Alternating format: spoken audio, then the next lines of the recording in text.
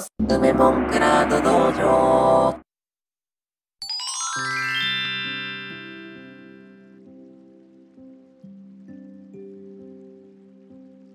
はい。じゃあ今日は、ネフォのクラウド人事管理というプロダクトの案件が新しく始まるので、打ち合わせついでにいろんな機能とかご紹介していきたいなと思います。4項目で、まずクラウド人事管理はという概念と大きなデータの流れ。これ API 連携するときに絶対押さえてほしいところなので、この説明。で、実際にプロダクトの中身を見てみよう。まず、マネーフォワードのこのクラウド人事管理とはどういうサービスかをザクッと一言で言うと、データベースなんですね。入退者とか人事異動の手続きに対応していると書いてますけども、これ手続きというかデータベースを更新するだけのシステムです。社会保険と混同しないようにしてくださいね。はい。特徴としては、その従業員情報をオンラインで収集できます。従業員とか組織構造の情報を管理することができます。クラウド給与、クラウド社会保険に連携することができます。これがさっき言ったところですね。社会保険の手続きはできません。というところで、似たようなもので言うと、スマート HR とかね、あとジョブ間ローム HR、ここもあのデータベース機能を持っているんですけども、この2つについては、そのプロダクト上で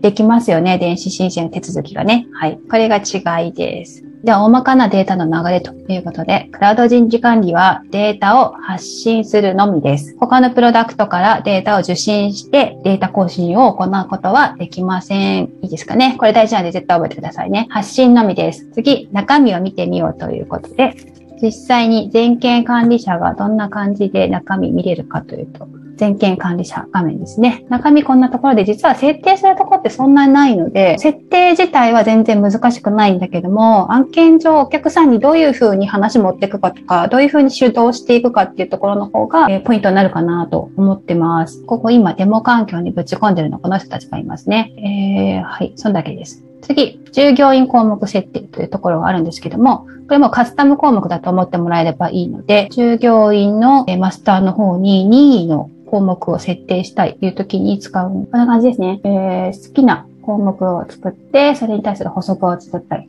で、これを従業員マスターの方に付け足すか付け足さないかみたいなところできますね。権限設定という組織、えっ、ー、と、設定があって、ここ全権管理者は単純にここに対象者登録すればいいですね。で、もう一つここロールというのがあって、これ動画作ったことあると思うんで、それ見といてくださいね。従業員にどのロールを当てるかというのがポイントになります。次に、マスター設定。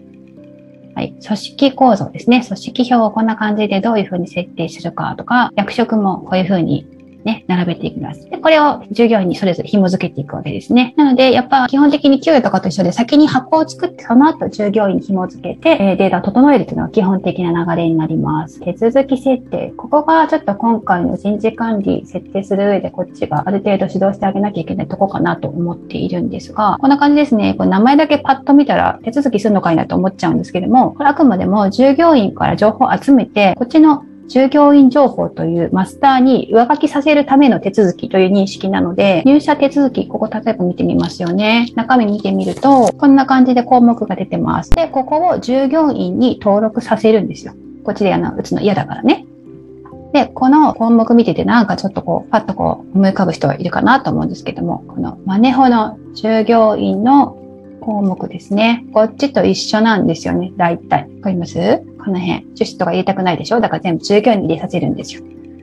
中和年法の人事管理で従業員に入れさせて、それを給与の方に流すと、こっちのデータも更新されるという仕組みになっているので、例えばですよ、入社手続きなんか基本的に全部入力してもらったらいいんですけども、なんか結婚した時の指名変更とかだけだったら、余計なところ変更されると、こっちのマスターも余計なところ変更されて、給与計算ぐちゃぐちゃになって怖いので、変更させたくないところは、変更させない仕様にしてあげればいいので、例えばこの辺とかですね、保険関係なんか基本的に関係ないですよね。指名変更しても。なので、ここはあえて表示しない、非表示とかいう項目を作っといて、変更させたいとこだけを更新させるというふうにするのが基本の使い方になると思うので、そうすると、手続き設定もざくっとこうまとめるよりは細かくですね、氏名だけ変更させるとか、住所だけ変更させるっていう風に分けてやった方が現実的に一番うまくいくのかなと思ってるので、提案するときもこの入社みたいに全部出しのやつと氏名だけ変更みたいな、こっちから2つぐらいあらかじめ作って調整かけていくみたいな方で話していく方がいいのかなとなんとなく思ってます。次は従業員情報。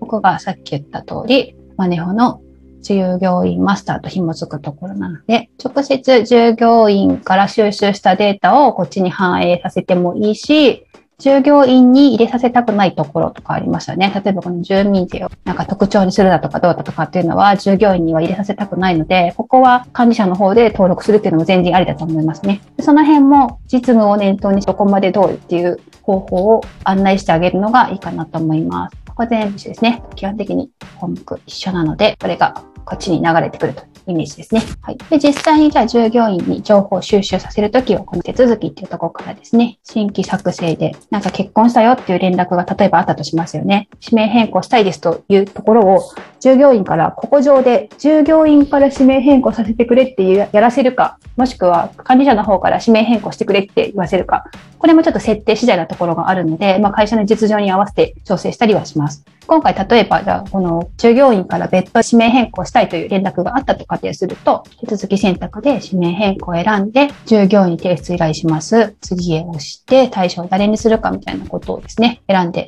送れば、従業員にこんな感じでメールを送信するよというのがまで見えますので、このまま提出ポンと押しちゃえばいってるはずですね。これが基本的な使い方になります。そんな設定するとこないんですね。で、これ案件のお話ちょっとしますね。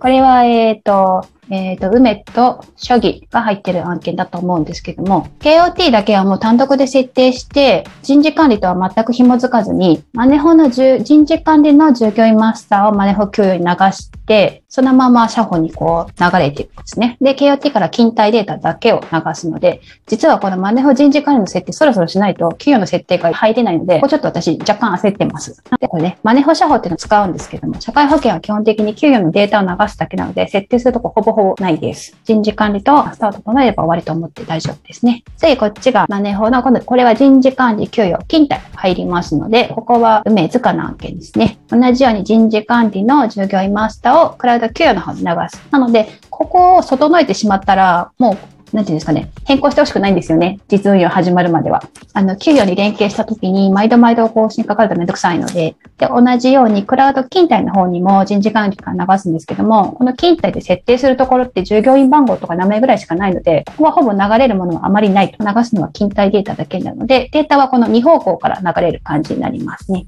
はい。設定としてはそんなとこです。で、最後に、人事管理で従業員情報をどう流すかというと、給与側の従業員マスターで、このクラウド人事管理から取り込むっていうところをすると、勝手に流れてきます。質問いいですか？はい。えっと、組織の履歴って持てるんですか？持てちゃうんですよ。人事異動の履歴を持たせるイメージですかね。私は営業部だけど、去年はなんとか部。ああ、そういう履歴を。あ、ね。はい。はい。じゃあ、時間なので今日はこちらで。ありがとうございました。ありがとうございました。ありがとうございました。一